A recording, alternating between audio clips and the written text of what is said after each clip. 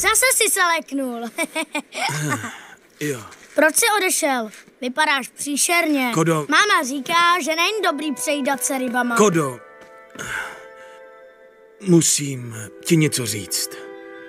Pamatuješ, co jsi mi včera vyprávěl? Jo, Já, já ti taky povím příběh. vážně? O čem bude? No, o člověku a o medvědovi, ale hlavně o netvorovi. O netvorovi, který se tak provinil, že... Skutky mé, jak šípy poraní. Slova neléčí, když přikládám je na rány. Chtěl bych sílu mít a změnit se a jít jinou cestou dál. Ta však skrývá se tam v hlubinách mých dní. Kodo, provedl jsem velikou špatnost. Zbloudil jsem a stydím se. Ten příběh se mi nelíbí. Ty svěřil mi, já zklamal tě, bratře medvěde. Tvoje matka nepřijde. Kdo zatají, co měl by říct, ať hanbu v očích má. V noci modlím se, ať promluví má duše zoufalá.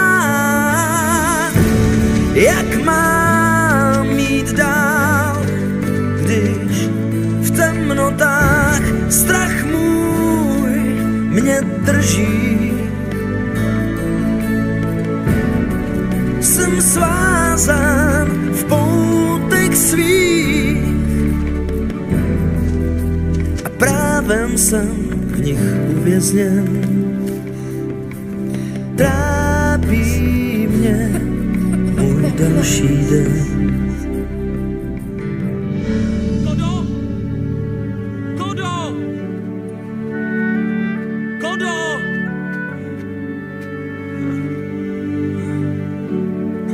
Kodo, tolik bych si přál. Aby bylo něco. Něco, čím bych... Dal bych všechno za to, aby... Kdybych...